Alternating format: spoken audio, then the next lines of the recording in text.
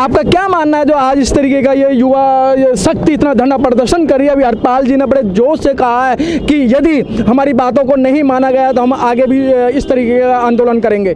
देखिए, सबसे पहले तो मैं एक चीज़ ये कहना चाहूँगा कि बीजेपी सरकार संविधान को पूर्णतः नहीं लागू करती है, ना ही मानती है।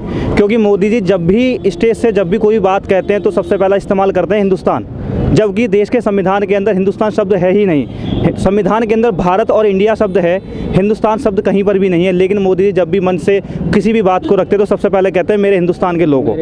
इससे स्पष्ट रूप से यह होता है साबित होता है कि मोदी जी संविधान को पूर्णतः लागू नहीं करते ना ही वो मानते हैं। वो मनुवादी को हैं और मनुवाद को ही मानते हैं। दूसरी बात मैं ये कहना चाहूँगा जब भी बात संविधान की आती है तो हमेशा मोदी जी और उनके चमचे चाहे वो आर हो, चाहे बीजेपी हो, चाहे वो बजरंग दल हो, वो सारे सारे हमेशा मनुस्मृति को लागू करने की बात करते हैं। ये मनुस्मृति वो मनुस्मृति है जिसके अंदर संविधान के बाद, संविधान से पहले जो भी यहाँ था। उन्नीस सौ सैंतालीस से पहले अगर हम बात करें तो केवल एक ही महिला का नाम हमें दिखाई देता है रानी झांसी का। कि भाई खूब लड़, खूब लड़ी मर्दानी वो तो झांसी वाली रानी थी। लेकिन आज की डेट में हर गली में हर एक गली में हर एक घर में झांसी की रानी है। वो केवल हमारे संविधान की बदौलत है। क्योंकि महिलाओं को पढ़ने का अधिकार नहीं था शिक्षा का बिल्कुल भी अधिकार नहीं था चाहे किसी भी समाज की क्यों ना हो।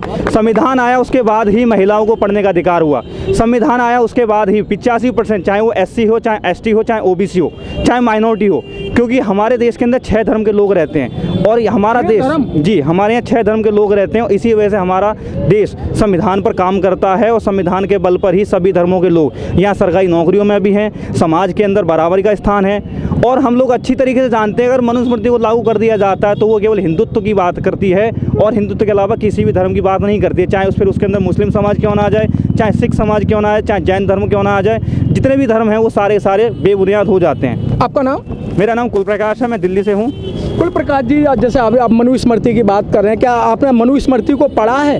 जी, मैंने मनुस्मृति को पढ़ा है उसके अंदर साफ़ साफ़ पहले, सबसे पहले शब्द लिखा हुआ है कि शूद्रों को ना ही शिक्षा का अधिकार है, ना ही समानता का अधिकार है। शूद्र पैरों से पैदा हुआ है, ये साफ़ साफ़ लिखा हुआ है, जो मनुस्मृति के अंदर। अगर वो पैरों से लिखा हुआ है तो भैया साइंस कहता है कि जन्म का एक ही प्रकरण होता है कि जब तक संभोग ना हो जब तक बच्चा पैदा नहीं होगा लेकिन मनुस्मृति के अंदर लिखा हुआ है कि ब्रह्मा जी जो मुख से पैदा हुए हैं क्षत्रिय कंधों से पैदा हुए हैं और साथ ही शूद्र पैरों से पैदा हुआ है। जितना भी वैश्य समाज है वो पेट से पैदा हुआ है। लेकिन साइंस कहता है कि जब तक आज सारा युवा जागृत हो चुका है और युवाओं की इसी स्ट्रेंथ को देख के तो आगे कुछ बदलाव होने जा रहा है? देखिए युवाओं के लिए एक ही संदेश मैं देना चाहूँगा कि अगर वोट की ताकत को ख़त्म कर दी जाती है तो युवाओं को अधर में ही छोड़ दिया जाएगा और संविधान को पूरी तरह ख़त्म कर दिया जाएगा। जब तक वोट की ताकत आपके पास है क्योंकि वोट की ताकत एक ऐसी ताकत है जो राष्ट्रपति के पास भी एक ही है और एक गरीब भिखारी के पास भी एक ही है।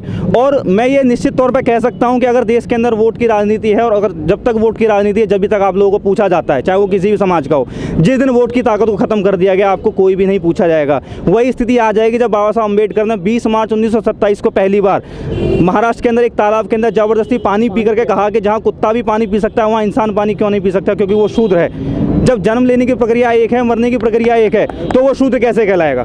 कुल प्रकाश जी, जब बाबा साहब की बात आती है तो एक अकेले महापुरुष ने पूरे करोड़ों का जीवन सुधार दिया। आज करोड़ लोग उनके विचारों पर नहीं चल रहे देखिए बात है विचारों पर ना चलने की केवल एक ही बात है क्योंकि लोगों को भ्रमित किया जा रहा है धर्म के नाम पर। युवाओं को ये ध्यान में जी युवाओं को ये ध्यान में रखना चाहिए कि जाति कोई नहीं होती धर्म कोई नहीं होता। जब तक आपके पास रोज़गार नहीं है जब तक आपके पास शिक्षा नहीं है जब तक आप किसी भी कीमत को कहीं पर नहीं हो आप भिखारी से भी बदतर हो जब तक आपको शिक्षा रोज़गार नहीं है। क्योंकि इंसान को जब भूख लगती है तो सबसे पहले रोटी दिखाई देती है धर्म नहीं दिखाई देता। जिस दिन ये देश के लोगों को समझ में आ गया कि आपकी ज़रूरत रोज़गार है और शिक्षा है उस दिन धर्म अपने आप बिल्कुल खत्म हो जाएगा और लोगों को खास करके शिक्षा के माध्यम से। जिस तरीके से आरएसएस और बीजेपी धर्म के मामले में फंसाई रही है, जानबूझ करके लगातार स्टेटमेंट आते रहते हैं कि हमें धर्म बचाना है, हमें धर्म बचाना है। नहीं, हमें धर्म नहीं बचाना, हमें देश को आगे लेकर के जाना है और देश को आगे जब भी लेके जा सकते हैं, जब संविधान को फॉलो करेंगे, क्योंकि संविधान को फॉलो करेंगे तो सभी धर्मों का सम्मान होगा। अगर आप मनुस्मृति को लागू करना चाहेंगे तो किसी भी धर्म को सम्मान नहीं दे पाएँगे हम लोग और बाकी धर्मों के लोग भ्रमित हो जाएँगे और हमारे देश के अंदर एक ऐसी स्थिति आ जाएगी जहाँ केवल खून खराब और मारकाट के अलावा कोई भी लोगों के पास चारा नहीं होगा।